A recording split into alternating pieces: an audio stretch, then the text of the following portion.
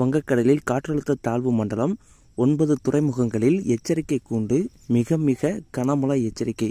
இதை பற்றி தான் இந்த வீடியோவில் பார்க்க போகிறோம் இந்த வீடியோக்குள்ளே போகிறதுக்கு முன்னாடி நம்ம சேனலுக்கு நீங்கள் புதுசாக வந்திருந்தீங்கன்னா நம்ம சேனலை மறக்காமல் சப்ஸ்கிரைப் பண்ணி வச்சுக்கோங்க. பக்கத்தில் இருக்க பெல் பட்டன் அழுத்தி ஆன்லைன் செட் பண்ணி வச்சுக்கோங்க. அப்போ தான் நம்ம சேனலில் அப்லோட் பண்ணக்கூடிய வீடியோக்களெல்லாம் உங்களுக்கு உடனே நோட்டிஃபிகேஷன் வரும். வாங்க வீடியோக்குள்ளே போகலாம். வங்கக்கடலில் காற்றழுத்த தாழ்வு மண்டலம் உருவாகியுள்ளதை அடுத்து தமிழகத்தில் உள்ள ஒன்பது துறைமுகங்களில் ஒன்றாம் எண் கொண்ட புயல் எச்சரிக்கை கொண்டு ஏற்ற வானிலை ஆய்வு மையம் அறிவுறுத்தியுள்ளது.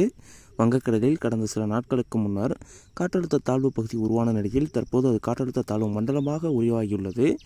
இந்த நிலையில் இந்த காற்றழுத்த தாழ்வு மண்டலம் புயலாக மாறும் வாய்ப்பு இருப்பதால் சென்னை கடலூர் தூத்துக்குடி எண்ணூர் காட்டுப்பள்ளி நாகப்பட்டினம் புதுச்சேரி காரைக்கால் பாம்பன் ஆகிய ஒன்பது துறைமுகங்களில் ஒன்றாம் எண் புயல் எச்சரிக்கை கொண்டு ஏற்ற வானிலை ஆய்வு மையம் அறிவுறுத்தியுள்ளது. மேலும் தமிழகத்தில் உள்ள கரையோர மாவட்டங்களில் புயல் காரணமாக முன்னெச்சரிக்கை நடவடிக்கைகளை எடுத்துக்கொள்ளும்படியும் வானிலை ஆய்வு மையம் அறிவுறுத்தியுள்ளது என்பது குறிப்பிடத்தக்கது.